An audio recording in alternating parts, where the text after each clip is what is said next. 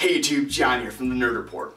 I'm making this video as a response to my friend the gentleman physicist, who posed a question last week of, is molten glass transparent?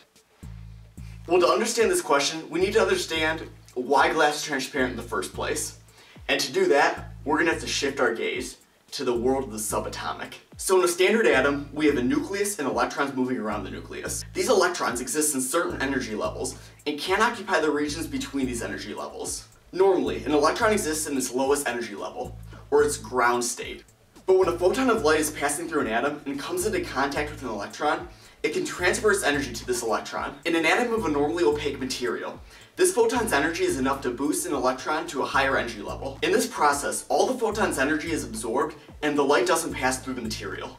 Now what makes glass so special is that there's a huge energy gap between the electron's ground state and its high energy state. Because of this gap, when a photon comes into contact with one of glass's ground state electrons, it doesn't have the energy necessary to boost the electron to a higher energy level. Because of this, the photon's energy isn't absorbed, and it passes right through the material, thus creating the property of transparency.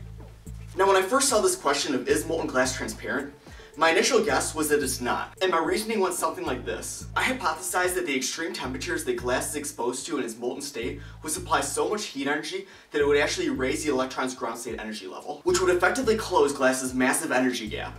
This would allow photons to raise electrons to their higher energy state, be absorbed, and cause glass to be opaque. But after doing some research, I decided to revise my hypothesis. It turns out that the energy required to boost glass's electrons' ground state energy levels is absolutely absurd. But the energy that exists in melting glass is great enough to produce another equally awesome effect. If you look at a melting ball of glass, you'll see that it glows red.